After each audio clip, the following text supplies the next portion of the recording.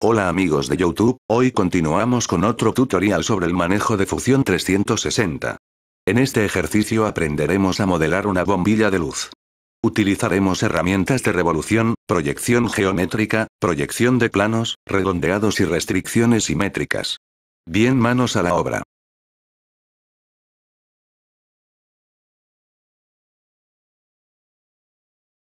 Creamos un nuevo croquis. Elegimos un plano para trazar.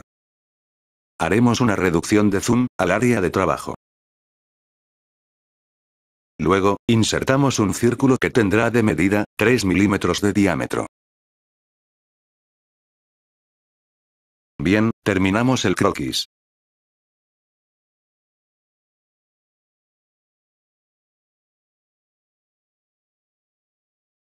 Con la herramienta de extruir, y teniendo el croquis seleccionado, le pondremos una medida de 2.20 milímetros de distancia.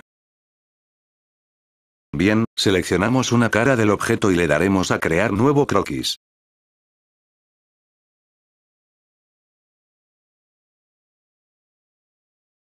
Utilizaremos la herramienta de proyectar geometría, seleccionando una arista determinada.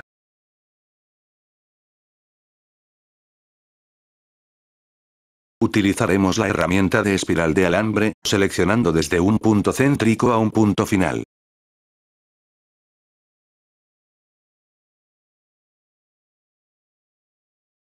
En dicha herramienta pondremos la siguiente configuración. En tamaño de sección, 0.30 milímetros. En altura, menos 2.20 milímetros. Y en revoluciones, 5.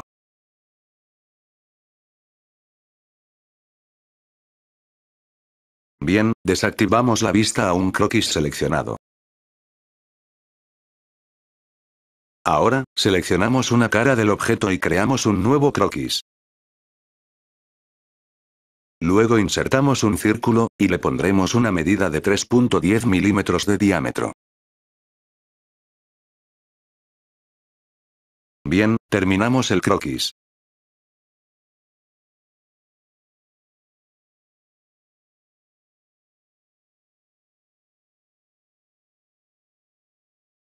Utilizando la herramienta de extruir, y seleccionando determinadas caras del objeto, aplicaremos una distancia de menos 0.10 milímetros.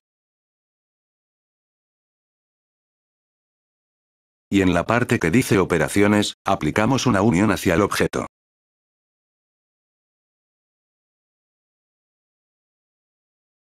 Bien, seleccionamos una cara del objeto y creamos un nuevo croquis.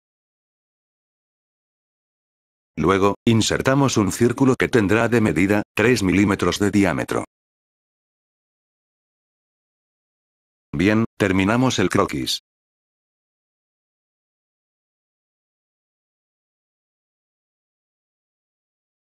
Con la herramienta de extruir, y seleccionando determinadas caras del objeto, aplicaremos dos direcciones de distancia. Uno tendrá 0.20 milímetros. Otro tendrá 0.10 milímetros, y en operación, le daremos la forma unión.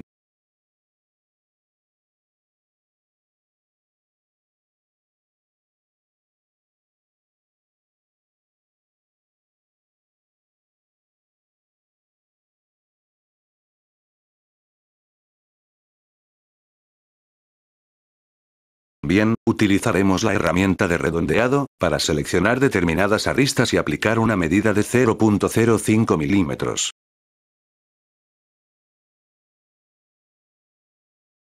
Repetimos la operación, con la herramienta de redondeado.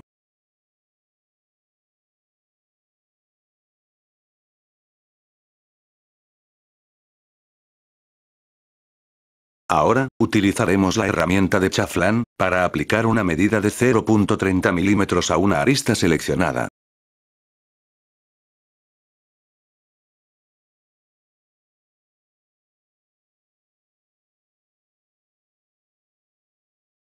Bien, volvemos a utilizar la herramienta de redondeado, y aplicar una medida de 0.05 milímetros a una arista seleccionada.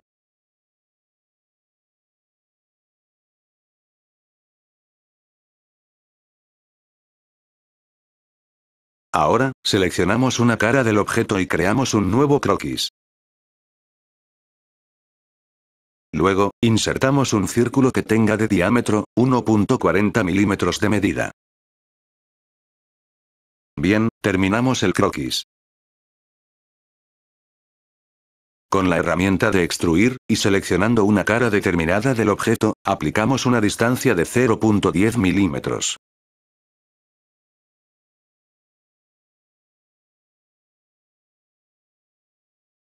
Volvemos a seleccionar una cara del objeto, y le damos a crear nuevo croquis. Desde el apartado de sólidos, insertaremos una esfera que tenga de diámetro, 0.70 milímetros, y como operación le daremos la forma de unión de objetos.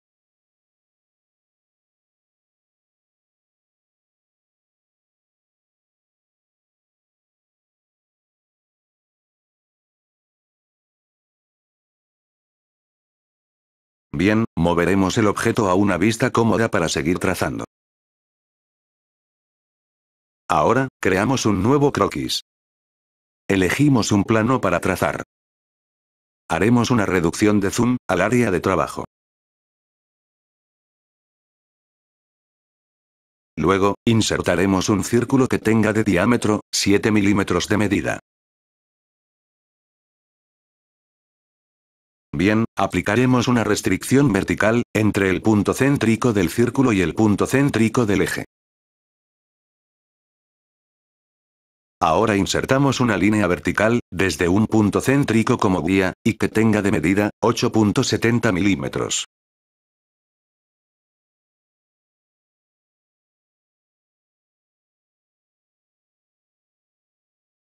A dicha línea, le aplicaremos una restricción de coincidencia entre línea y punto céntrico del círculo.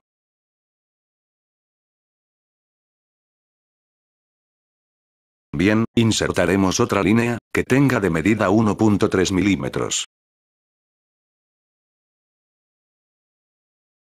Luego, insertaremos un círculo. A dicho círculo, le pondremos una medida de 1.2 milímetros de diámetro. Aplicaremos una restricción vertical entre un punto céntrico del círculo y un punto de línea. También, aplicaremos una restricción tangencial entre un círculo y una línea. Insertamos otro círculo.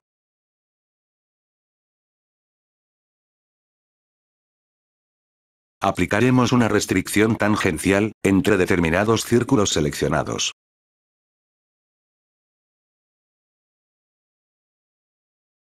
Luego, al círculo creado, le pondremos una medida de 10 milímetros de diámetro.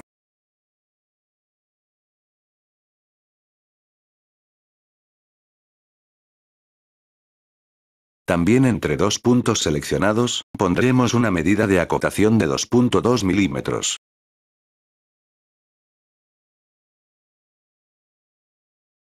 Bien, con la herramienta de recortar, eliminaremos ciertas aristas o geometrías innecesarias.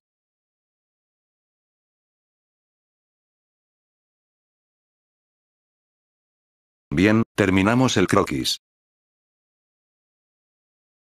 Con la herramienta de revolución, y seleccionando la última operación del croquis, más el eje de guía, aplicamos un giro de 360 grados de dicho croquis.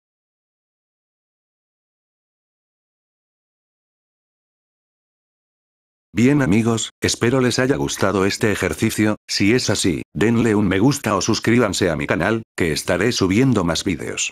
Hasta la vista.